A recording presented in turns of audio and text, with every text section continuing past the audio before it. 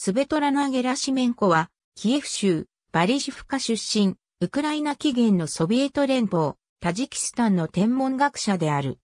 1969年9月11日、当時のカザフソビエト社会主義共和国首都、アルマトイ近郊のアルマータ天体物理研究所で働いていたゲラシメンコは、合計50センチメートルのマクストフカセグレン、式望遠鏡でコマスソラ彗星を撮影していた。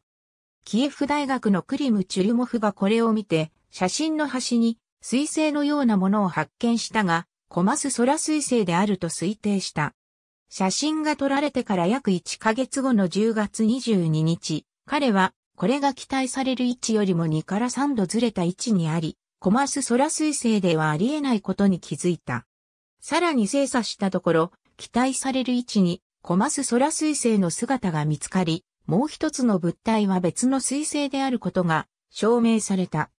すべての写真を調べたところ、9月9日と21日に撮影されたさらに4枚の写真からも見つかった。ありがとうございます。